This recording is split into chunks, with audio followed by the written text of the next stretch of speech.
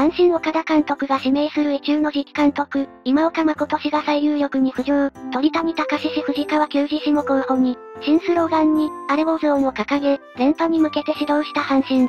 38年ぶりの日本一の立役者となった岡田昭信監督66の手腕に、引き続き注目が集まるが、すでに連覇の先を見据えた動きも出てきた。鳥谷は指導者をやりたくないと公言してるから、現場復帰はないだわ名称どんでんには、あと5年はやってもらわないと困る。鳥谷は賢いからやらないだろ。鳥谷はタレント俳優旅芸人で食った方が良い。心情でええやんけう。外野守備だけやってあとは実績出してるコーチにお任せや。次の日本一は38年後だろうな。今岡が監督でヘッド井口でええよ。藤川は列割り込みするようなモラルないからダメだろ。注意されても俺はええんや、なんて逆ギレするようなやつだし。予言者藤川球児さんを押します。